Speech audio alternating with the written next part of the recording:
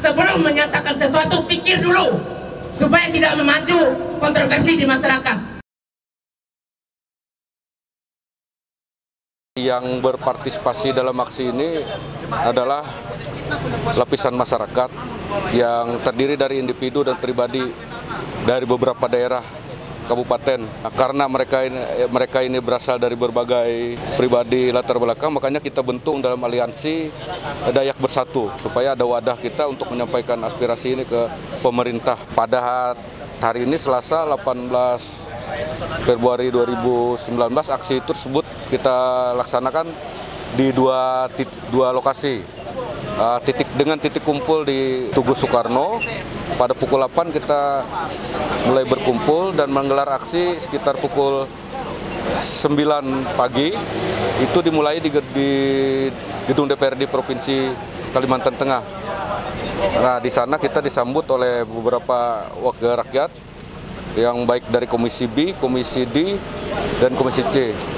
Aksi ini kan tujuannya jelas tiga tuntutan aksi ini pertama menolak pencabutan moratorium.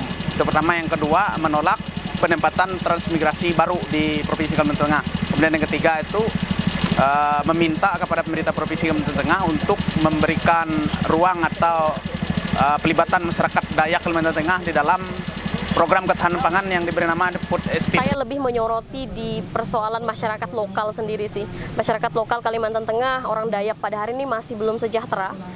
Kemudian ada banyak ketidakadilan-ketidakadilan yang terjadi, perampasan tanah, kemudian konflik agraria, konflik-konflik horizontal yang terjadi di masyarakat kita pada hari ini meminta pada pemerintah untuk memperhatikan dulu masyarakat Dayak yang belum mendapatkan keadilan ini begitu. Karena ini memang bicara soal keadilan, kita menggaungkan keadilan, kita menggaungkan demokrasi, tetapi tidak berlaku adil terhadap masyarakat Dayak itu sendiri begitu. Kalau, kalau mereka mencabut moratorium itu itu harus dianulir kembali, harus ditarik kembali pencabutan moratorium, tidak boleh dicabut. Intinya tadi saya sudah tegaskan bahwa harga mati masyarakat Dayak Kalimantan Tengah itu tidak menerima dicabut kembali moratorium apalagi penempatan transmigrasi. Harus ada pelibatan uh, masyarakat Dayak di dalam lapangan pekerjaan ketahanan pangan pot estate itu yang lahan kata mereka 1,4 juta hektar itu. Nah itu yang yang harapan kita.